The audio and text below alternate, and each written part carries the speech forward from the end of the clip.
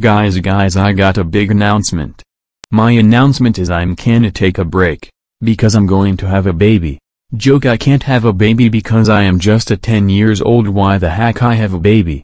The real reason is I'm going to have something. So that's it, bye.